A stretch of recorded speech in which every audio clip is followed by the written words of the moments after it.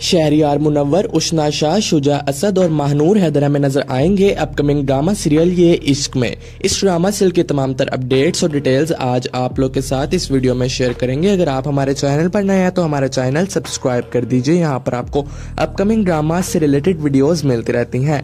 उशना शाह और शहरियार मुनवर हमें पहली मरतबा एक साथ स्क्रीन शेयर करते दिखाई देंगे।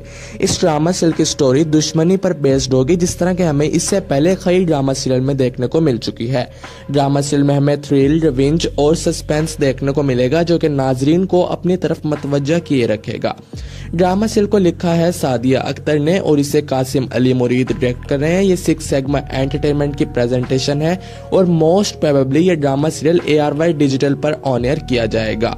ड्रामा सेल की स्टोरी काफ़ी इंटरेस्टिंग लग रही है और शुजा असद और महानूर हैदर हमें कई ड्रामा सेल के बाद एक बार दोबारा एक साथ नज़र आएँगे। तो लोग इसके लिए भी बहुत ज़्यादा एक्साइटेड हैं।